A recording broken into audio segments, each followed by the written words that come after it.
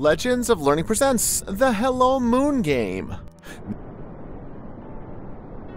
This is a science game that makes learning about lunar phases fun and easy to understand.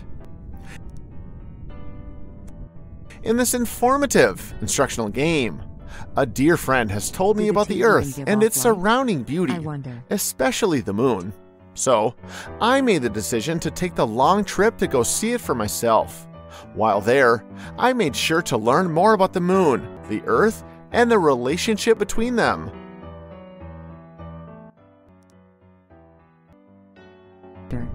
I should take a picture exactly like those and put them in order.